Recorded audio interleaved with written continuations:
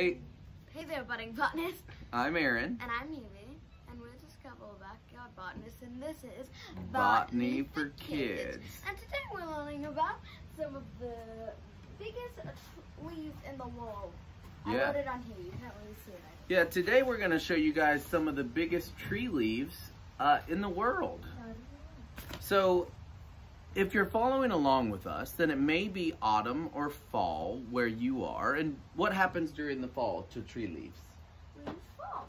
Yeah, leaves tend to fall off of the trees then. At least the ones that lose their leaves. And these are the trees that are not what, Evie? I know. What are the trees that stay green all year long? They are evergreens. Yeah, they are evergreens. Evergreen trees keep their leaves all year long, but deciduous trees lose their leaves in the fall and take a break, kind of take a nap. And the reason for that, yeah, the reason for that is because there's less light available in the fall and the winter. Evie, can I get you to sit in this chair and pretend to be a the sun for me for a second? Yes. We'll let her big, beautiful blonde hair pretend to be the sun. And my bob prickles. So remember that at the center of our solar system, we have the sun, right? And the earth, I'll be the earth since I'm blue, rotates around the sun, If you hold it, one of the be rotates around the sun like this, right? But another big key is that the earth is also rotating. And so during certain times of the year, sorry son, Now call me son. during certain I'm your times of, daughter. during certain times of the year, there's less light available because the angle of the light changes between the sun and the earth.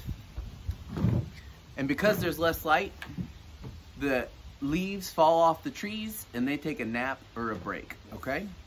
So, we want to show you the biggest tree leaves that we could find in our area and actually they end up being some of the biggest ones in the world okay so this. This is a chinese parasol tree. Where do you think it comes from evie? Chinese parasol chinese parasol tree. It's what? Chinese. Where do you think it comes from? China. very good.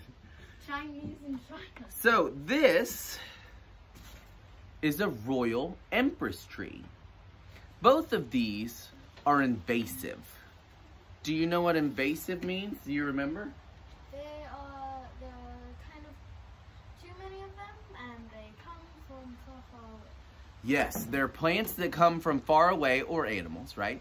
They're plants that come from far away, and a lot of times there's too many of them. In fact, you can find these Chinese parasol trees and these royal empress trees growing along the road, often along, ti- uh, along the interstate as well.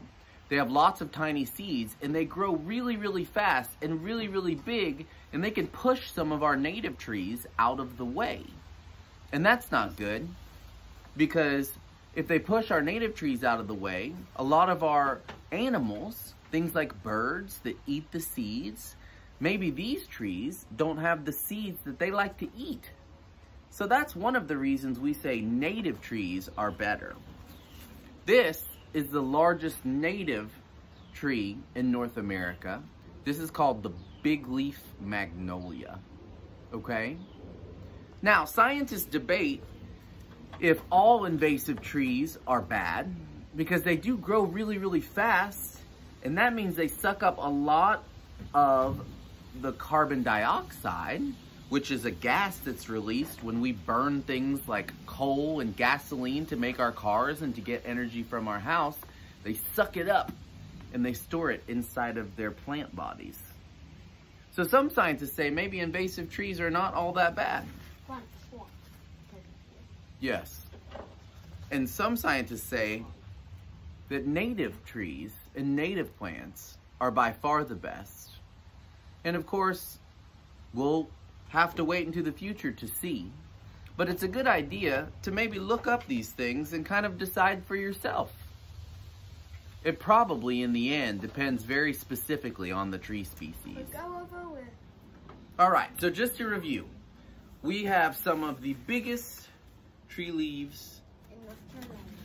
in the world here for you. We've got a native one, the big leaf magnolia. We have this We've got the Chinese parasol tree. Evie's got that one, and I've got Chinese thing. I forgot what it's called. Chinese parasol tree. Parasol. Parasol is another word for umbrella. Because look, it's kind It's umbrella. kind of like an umbrella. I've got the Royal Empress tree. And these two are invasive. You want to remind them what invasive means? There are too many of them. They come from far away. There you go. There are too many of them and they come from far away. And remember that these are all deciduous. They fall off the trees, Trees. that they're on in the fall because there's less light available. Yes. When And that's also a reason why the sun sets quicker in the fall, winter, and stuff. exactly, Evie. Sometimes fall. Very good. So, if you get a chance, see if you can find some of these invasive trees growing in your area. Or maybe just pay a little bit closer attention to the leaves that are falling off the trees this time of year. Some of them are beautiful. We'll talk about why that is in or another episode. this time of year for us if you want this later. That Yes. is- Or you live somewhere else. All possibilities. As always, I'm Aaron. And I'm Evie. And we're just a couple of backyard botanists. And this is... Botany for Kids. I think I just did my intro instead of